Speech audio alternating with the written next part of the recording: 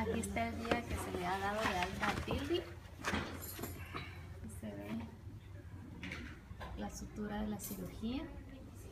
Se va a ir con reposo por 15 días y regresará para quitarle puntos en esos 15 días.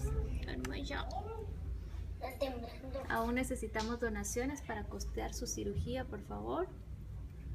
Y todo lo que hacemos lo hacemos por ellos y gracias a los donantes que nos permiten poder tener los recursos económicos para poder pagar este tipo de cirugías y atención médica de los animales que lo necesitan. Aquí está la familia que la reportó y ellos nos comunican que la van a adoptar.